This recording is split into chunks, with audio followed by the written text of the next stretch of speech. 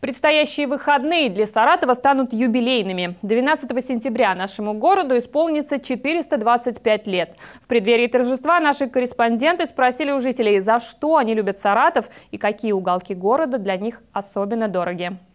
Потому что я родилась. Я патриотка, поэтому и люблю. Прежде всего, это, наверное, семейные какие-то чувства. Он по-своему красивый, по-своему интересен. Можно только за это любить. Я его люблю просто за то, что он есть.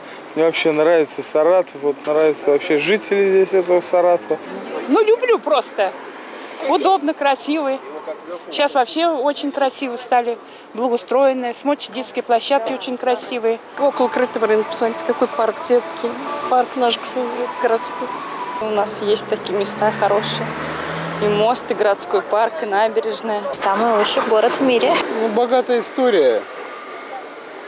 Добрые люди. Волга, река, потрясающие виды. уголками нравится, старыми домиками нравится.